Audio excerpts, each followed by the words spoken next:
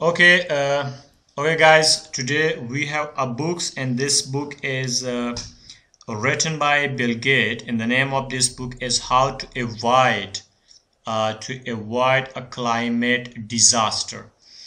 Uh, he said that uh, this sound uh, this sound difficult because it will be. The world has never done anything quite this big actually he want uh, he want to say that it will be a challenging as it sounds. Uh, there has never been a project this size in the world okay? Uh, according to him uh, that every year every year 51 billion uh, uh, billion tons of greenhouse gases are added to our atmosphere with the number still increasing. And zero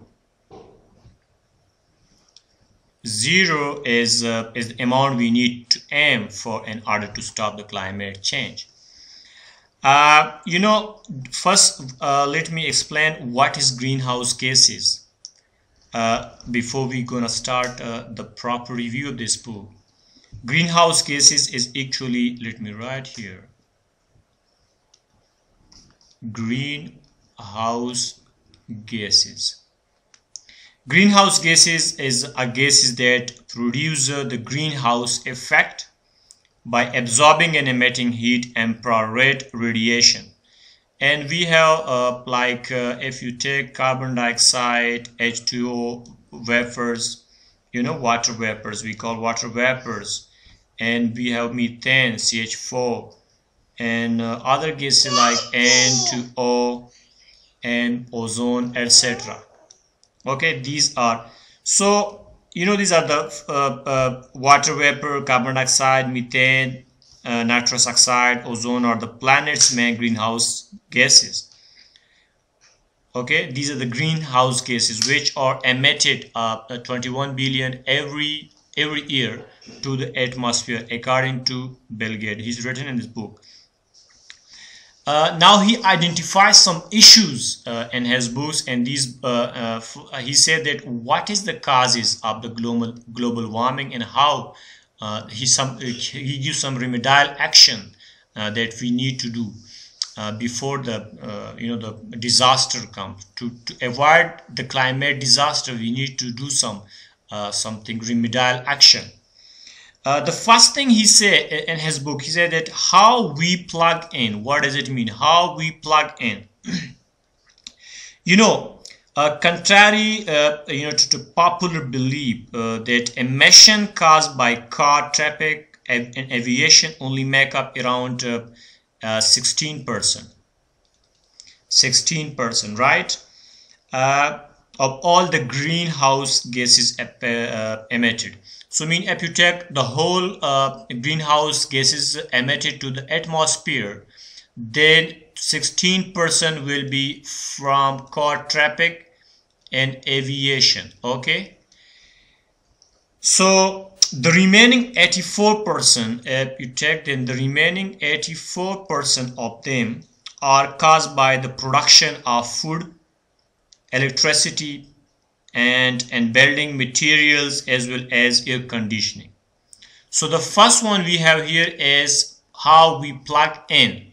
This is all about electricity. You know when generating electricity then it causes about 27% of the greenhouse gas emission.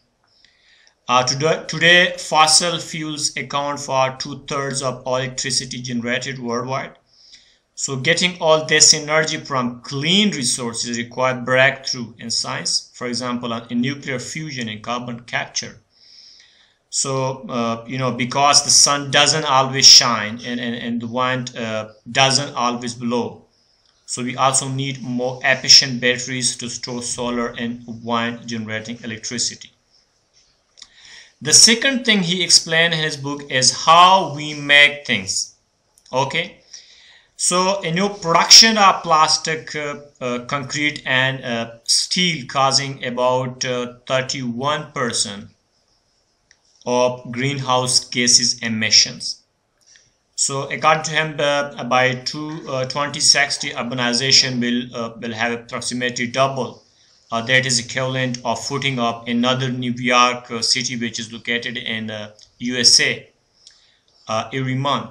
So currently the only way to make the concrete and steel involve tremendous carbon and uh, carbon emissions.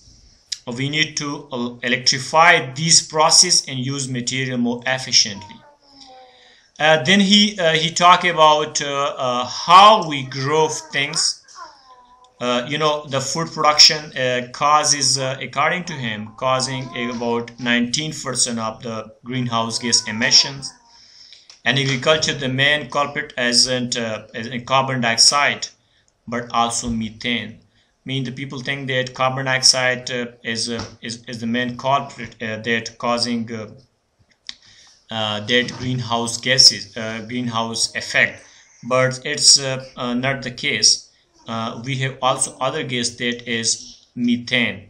Okay uh, it causes uh, 28 times more warming for molecule than carbon. It's uh, according to him that it's uh, that methane causing uh, 28 percent more warming than carbon than carbon. So as fun it sound that 4 percent of the global warming is due to cow cow farting and buffering methane. So mean that 4 percent of uh, uh, uh, warming is caused by the cow farting and um, buffering methane okay? So to lure lure these uh, numbers we need to eat more plant based and waste less food okay? Uh, then the fourth thing uh, he discussed in his book that how we get around. So you know vehicle uh, traffic cause 16% uh, I have told you before 16% of uh, greenhouse gas emission for short distance vehicle like cars and buses going all electric is an inefficient alternative to gasoline long distance vehicle like truck and planes might have to switch to advanced bio or electro fuels a ship could re, uh, rely more on atomic energy like plenty submarines and and aircraft carriers do. And the fifth thing he explained in the book that how we keep cool and warm. Uh, you know, this is all about air conditioning that, uh, you know, air conditioning causing 71, uh, so, sorry, 7, uh, 7% according to him of greenhouse gases emission. So with climate change warming the earth more and more and so the AC demand is on the rise the biggest problem here are the coolant used uh, to transfer the heat, uh, especially cheap AC unit so-called the fluorine gas, gases, you call F gases, leak out into the atmosphere accelerating global warming. So government policy incentive are needed uh, for more climate-friendly devices to be put in service. These five things he explained in his book that cause the uh, global warming and he also gives some uh, remedial action that we uh, need to take to overcome this uh, uh, disaster okay?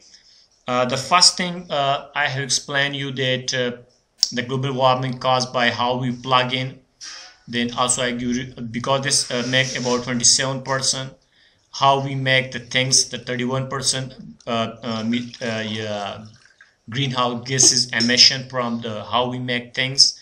Then he explained his book that how we grow things and then how we get around and how we keep cool and warm. So all these five things cause the global warming and for that we need some remedial action. So this is actually the review of this book which has been written by the uh, bill gates how to avoid a climate disaster